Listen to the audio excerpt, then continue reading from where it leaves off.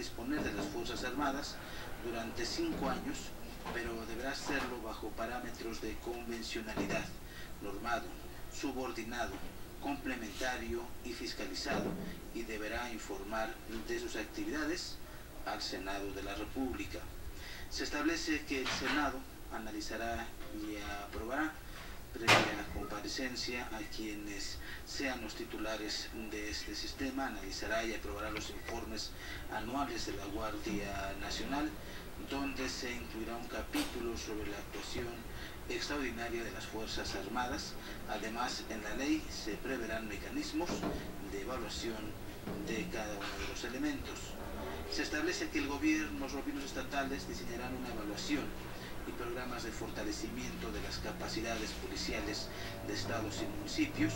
Se establecerá un esquema de inversión corresponsable, federación y estados y se evaluará el cumplimiento de metas. Se hace explícita la coordinación y colaboración de la Guardia Nacional con entidades federativas y municipios y la ley preverá los puestos de estos mecanismos. Concluye, concluye el tiempo solicitado para la votación.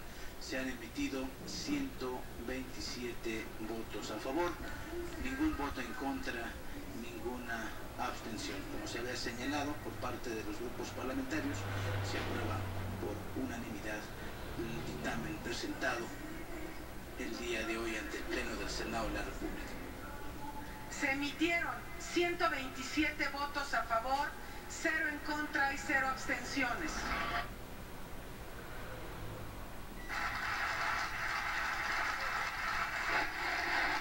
Muchas gracias, senadora secretaria.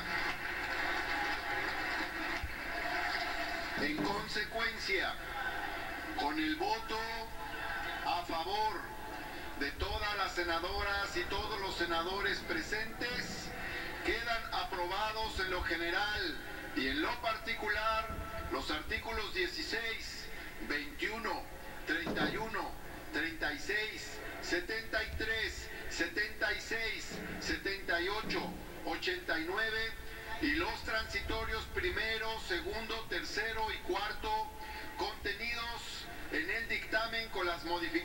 autorizadas por esta Asamblea y los artículos 10, 35 y los transitorios quinto, sexto y séptimo incorporados al dictamen.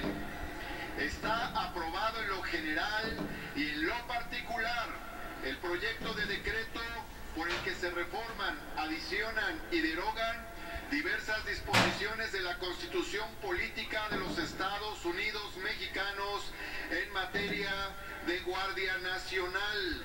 Se devuelve con modificaciones a la Cámara de Diputados para sus efectos constitucionales.